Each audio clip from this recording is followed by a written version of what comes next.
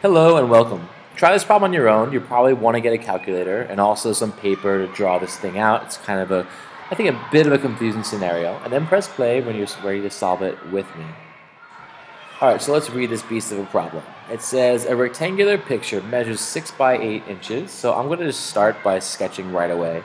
We've got a 6 by 8 frame, something like this. Not to scale, of course, but that's close enough. 6 by 8.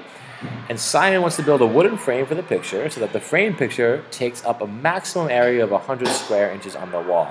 So, so far this has an area of 48. 6 times 8 is 48. We're going to make it larger to have an area of about 100. So I don't know where the larger is going to be exactly, but it's just going to be bigger, right? I want to draw a rectangle around the original. And that's actually not that great of a rectangle, so we fix that something like this. I'm drawing like this. I'm trying to make it even on each side. That's a lot of questions here. I'm going to assume I haven't even read the rest yet, but typically there's some even growth around the original rectangle. Um, but let's see what happens. The pieces of wood that he uses to build the frame all have the same width. That is, I apologize for this terribly phrased piece right here, but basically they're saying that, okay, the wood we use to build this frame, they all have equal width. So what does that mean? So I guess if there's a piece of wood right here, dot, dot, dot, imagine this like plank of wood right here, its width would be x, right? And this is x as well. And then this piece of wood, I guess, over here, it also has a width of x. Remember, width can be up or down or left or right.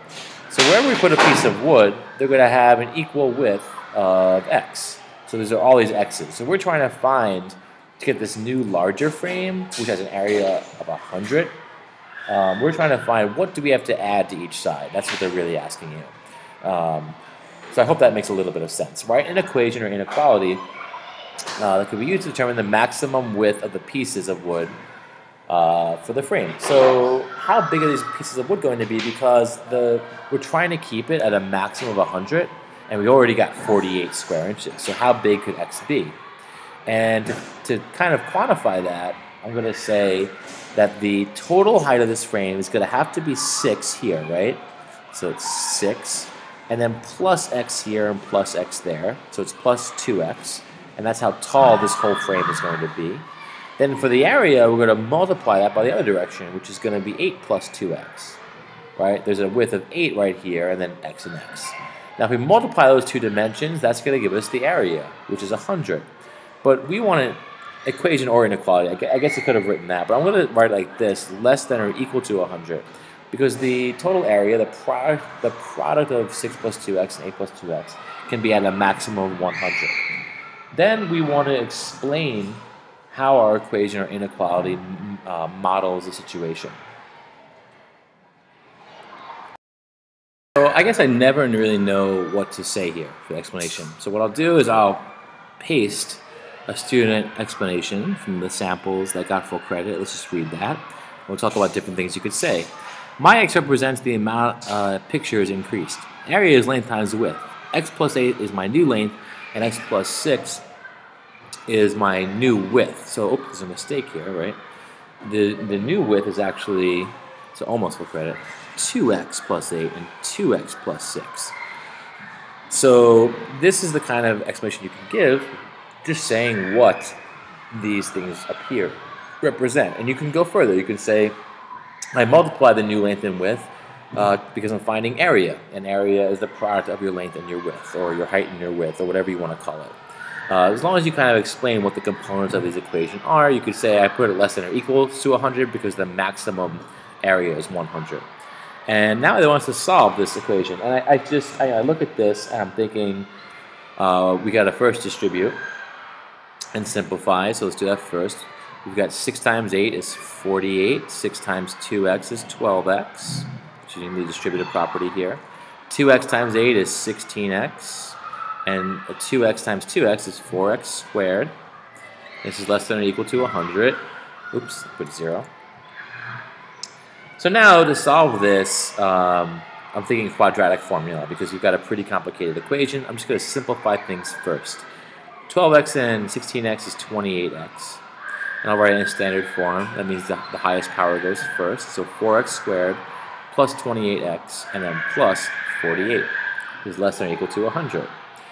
Um, okay, so let's now subtract 100 from both sides because once we have 0 on one side of our equation, we can figure out what x is. So 4x squared plus 28x uh, minus, uh, 52 is less than or equal to 0. So to make my life a little bit easier, I could, I could do this here, but I'm just going to divide by 4 on both sides because it's a common factor and it makes the numbers a little bit less uh, intimidating. So that would be x squared plus 7x minus uh, 13. Now you don't have to do that step. You can still get the same answer as me if you, if you don't divide by 4. But now we know that a is 1. That's the coefficient of x squared. We know that b is 7, right? Because um, that's the coefficient of, of x right here. And we know that c is negative 13. Don't forget that negative sign. We're subtracting 13. And the quadratic formula is uh, the complete explanation of how we complete the square to solve for x. And it's given to you on the exam, uh, but basically it says that x is negative b plus or minus the square root of b squared minus 4ac divided by 2a. And now we just plug in. It's negative 7, negative b, plus or minus the square roots, the square root of b squared, 49, minus 4 times 1 times negative 13. I'll write that out right now. Simplify it later. All over 2 times a, or just 2. So now we've got to solve this thing, and we can simplify it, but I want to enter it directly on the calculator, let it do the hard work for me, because if you notice, I think they asked for this to the nearest tenth of an inch. So we're going to we're to round this to the nearest tenth of an inch, and um, for for this we could we could actually write notice the plus or minus. There's actually two things happening right here.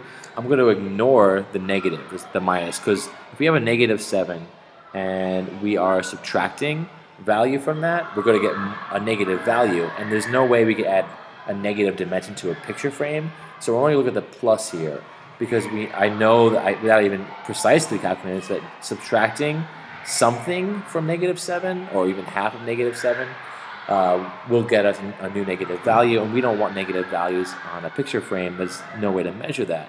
So what I'm entering in the calculator is negative 7 plus the square root of 49, and this is really negative 4. You can think of it as 4 times 1 times negative 13, and then we're subtracting that, so that's going to be a positive 52 over 2. Um, and then 49 plus 52 is 101, I believe. I'm doing that right. Over 2. So we're going to enter this in the calculator. If I got that right. Negative 7. Oops, I should do parentheses first. I want to enter the whole numerator. Negative 7 plus the square root, second x squared, of 101. Oops, 101. Close parentheses, so we divide everything by 2. Oops, I'm still trapped in my uh, inequality sign, so I press right to get out of it. And this might actually be a syntax error because I have the parentheses, it seems, in the square root sign. So go to right here to get out of my square root sign. Close parentheses, looks better, divided by 2. And this gets me 1.5249 to the nearest tenth is 1.5. So x is 1.5. That's our answer to the nearest tenth of an inch. But let's just understand what's going on. If x is 1.5, think about what this picture frame is going to be. It's going to be 8 plus 1.5 plus 1.5, that's 11.